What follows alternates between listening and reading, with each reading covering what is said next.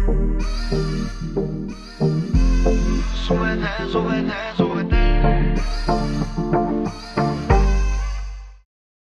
guys and welcome to my channel. If you guys happen to stumble upon this channel of mine, my name is Belinda. Welcome. Hopefully you stick around and subscribe. So the video that I'm doing today is one that I feel that a lot of people could find really helpful. It's how to pack for a one night trip. I know it could be insane, it could be crazy, but it's definitely possible. I'm actually gonna go to Chicago seriously for just one day. So I thought it would be a neat idea to show you what I packed and what I think would definitely be the essentials if you're just packing for one night. So if you guys are interested, just go ahead and continue watching. So first things first, before you even think about packing, you have to figure out how the weather is going to be. Is it going to be cold where you're going to need a really big heavy coat? Is it going to be hot where you're actually going to be needing a swimwear? Because obviously if you're going somewhere that's really cold, you're going to be packing way more heavier than versus say going to LA because it's always hot. So first things first, figure out what the weather is like before you even think about packing. So the second thing is, where are you gonna put all these things? I recommend either a small backpack or a pull along suitcase, but remember, it has to be small. You're only going away for one night. The bag that I'm gonna be using to pack all my stuff is this beautiful Dagne Dover bag. I hope I'm pronouncing that right. But I am obsessed with this bag. It's really cute, it's small, it's compact, and if you look at the side, if you need more room, all you have to do is unbutton the sides to make more room. It has a pocket in the back for your phone, two pockets on the side, a zipper pocket, a pocket for your laptop, and this cute little pouch as well that is attached to an elastic band.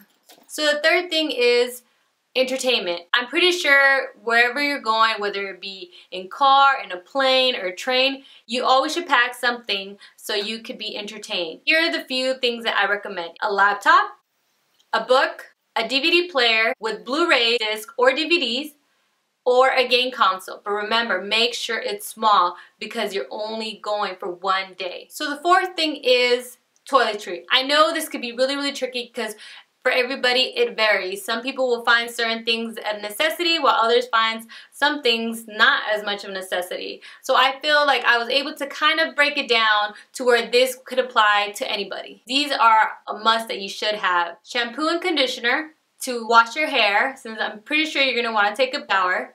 Toothbrush toothpaste that's definitely a no-brainer. Shower gel face wash and lotion for your body. Now when it comes to people that wear contacts or have glasses, definitely add the contact solution and your contact case.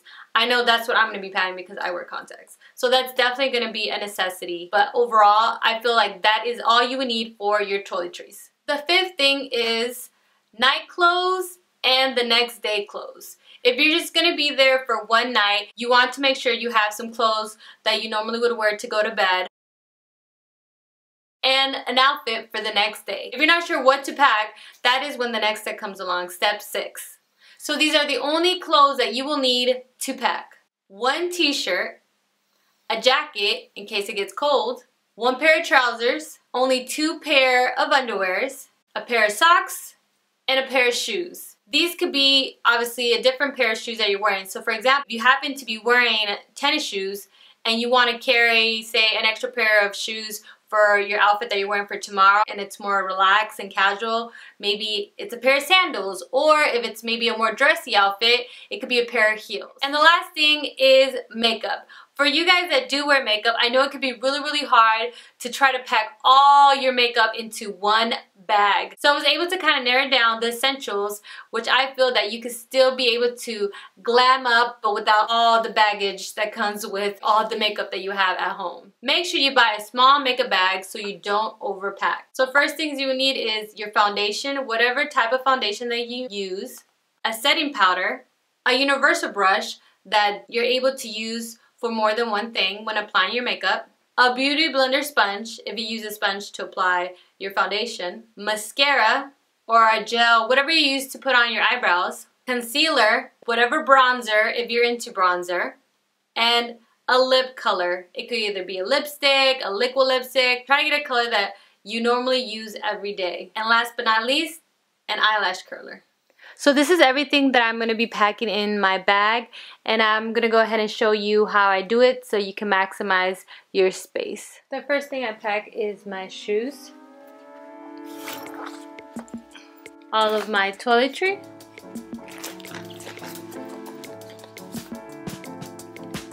my makeup,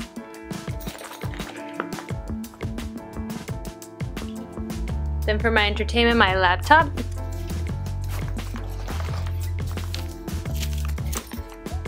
my laptop charger, my phone charger,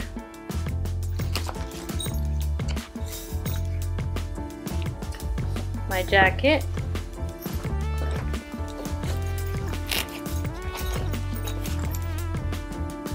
my pants, my shirt, pajamas.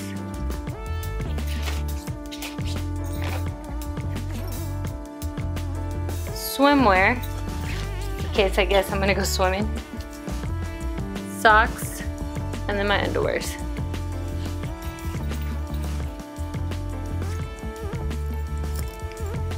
And then this bag, I normally would put my contacts or chapstick or any of the small things.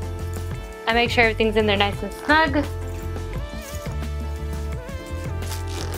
And then I close the bag. And of course you can't forget your phone.